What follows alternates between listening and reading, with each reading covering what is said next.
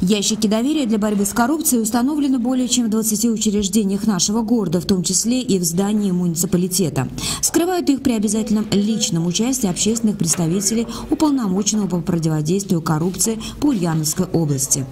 Данные ящики рассчитаны прежде всего на людей с активной жизненной позицией, тем, кому не безразлична судьба и города, и самих их, их самих.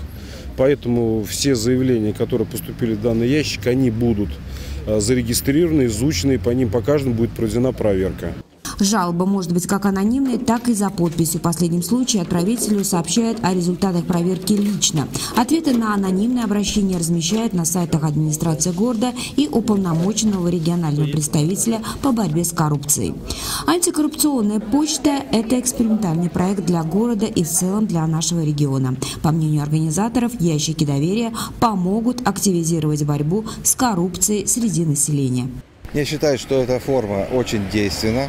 Надо этот вопрос рассматривать э, широко э, и, как говорится, э, бороться с коррупцией по полной программе.